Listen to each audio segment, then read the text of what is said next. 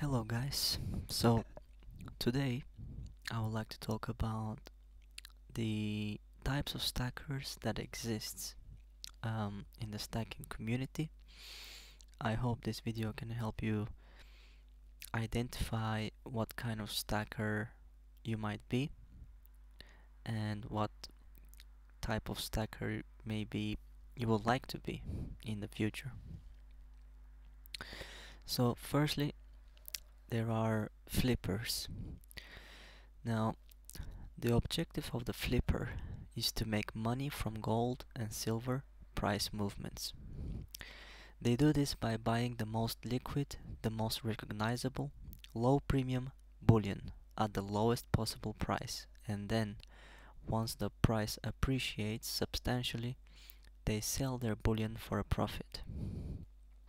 After with the proceeds of the sale, they can invest in other assets, such as real estate, stocks, or bonds, to earn passive income and to diversify their portfolio. The fact that they constantly flip between assets in such a manner is the reason why they are known as flippers. So, their strategy boils down to buy low, sell high.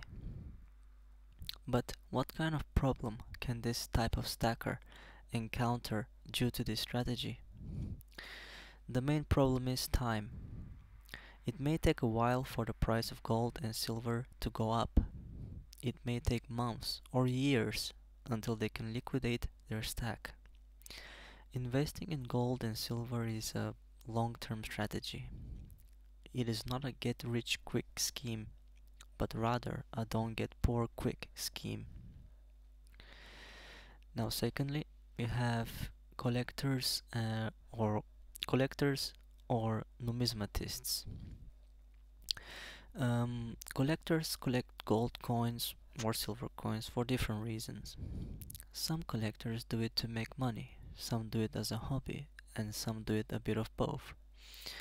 Typically, collectors buy rare, old, ancient gold coins or silver coins, or new, low mintage collector coins. Uh, usually they begin selling these coins when the demand for them the, the demand for them picks up. For example, let's say a Titanic themed gold coins are released by the Royal Mint with low mintage numbers and if a new movie about the Titanic is released, then there will be a spark of demand or interest for Titanic themed coins. This naturally catalyzes up the value of these coins and subsequently when they sell they make a hefty profit by pocketing the spread between the original bought price and the new appreciated price.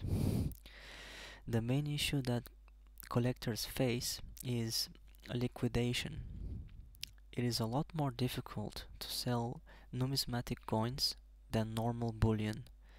They can only sell collector coins to private investors at auctions or eBay, as selling to a gold dealer may be unprofitable as they only pay for pure gold content value, not numismatic value.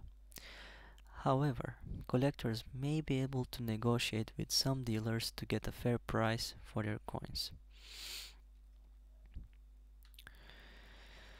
And then lastly, well not la not lastly, uh, thirdly, this type of investor hoards gold and silver bullion as savings for their retirement or to pass down wealth to future heirs. But why save gold for retirement? Why sell why save silver for retirement? Well, in an environment with low or close to zero interest rates and high inflation, um, savings accounts become worthless and inert since savers earn just grains as interest. Naturally, investors investors turn to slightly riskier assets like the stock market or other assets that yield passive income. But Savers purchase gold and silver instead. They do this to protect their wealth against high levels of inflation, national debt, currency erosion, political flip-flops, and economic meltdowns. The problem that this type of stacker can encounter due to this strategy is theft. Since they are hoarding their stack at home, they might get burgled and lose all their savings. Alternatively, they can store their gold and silver at um, Royal Mint Vault, but that incurs storage fees and also doesn't provide assurance against gold co confiscations if it happens again. And lastly, we have mixed or versatile stackers. Um, this type of stacker falls in all three of these types of stackers. They have elements of all the aforementioned uh, stackers. Um, some of them could be flippers and collectors at the same time, or do all three of the aforementioned activities flipping, collecting, and saving.